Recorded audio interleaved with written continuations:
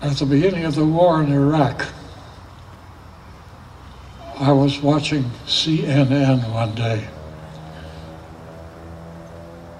It was the first day they bombarded Baghdad.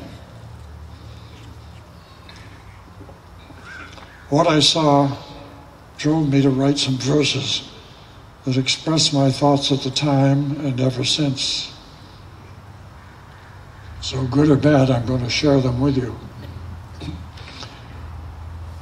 Images on a screen, talking heads, and words running across. Massive explosions, great clouds of smoke and dust. And under every cloud, people like you and me looking for safety somewhere, anywhere. Military targets only, we are told.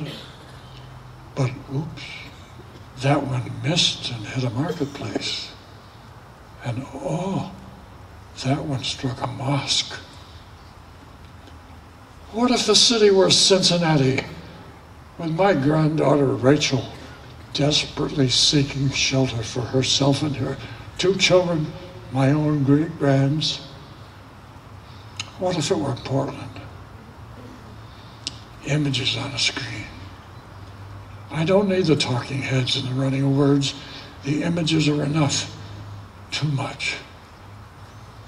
God help us to see that there are no we and they, and only one world for all of us.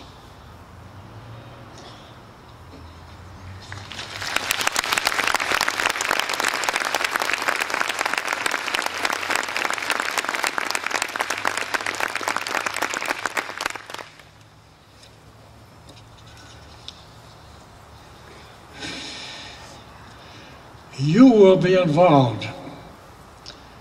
You must be involved in the effort to get a handle on some of these problems.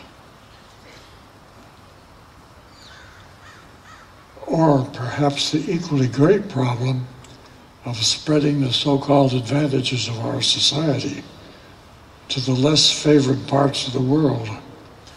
One advantage you have over my generation many of you have been abroad traveled and studied, seen what other people are like. Most of the benefits and problems are shared by other societies.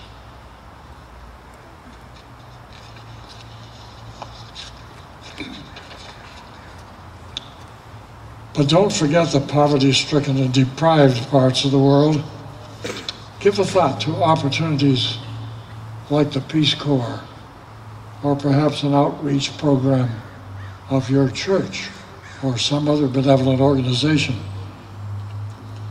I'm going to close with an experience of my own that may or may not be shared in some sense by others here. A few years into my retirement, I joined a group traveling to Central Africa, to the country then called Zaire, now the Congo. I was the only one in our group who could speak French. Not too fluently, indeed. But the French of that country, formerly a Belgian colony, is much simpler than in Paris. This was an advantage to me in that I could converse with people wherever we went.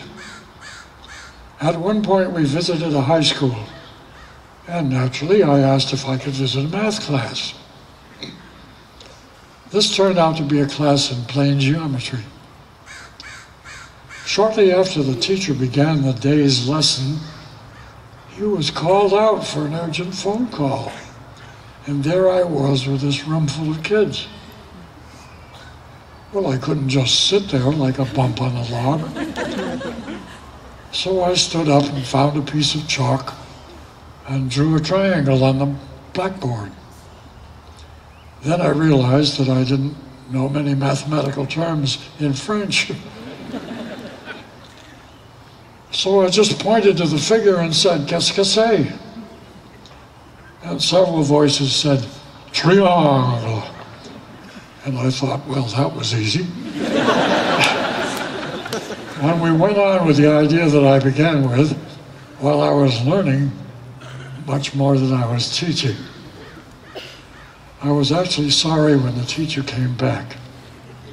I was left with a provoking thought.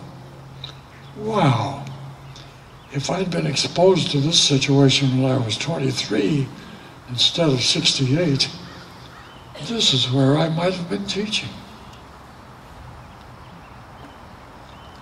A final thought. Just for the improvement of your life, look or listen for something beautiful every day.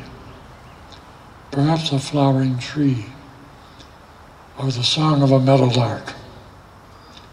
Let it sink in for a moment before you go on.